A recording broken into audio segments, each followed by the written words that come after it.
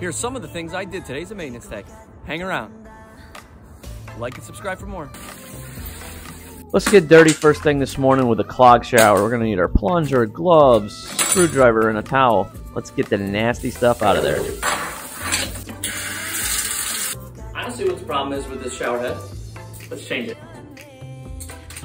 Very simple shower head change. We're just gonna unscrew the end of the hose, hook up the new hose, try to get the kinks out of it. Thing is a little awkward to work with for sure.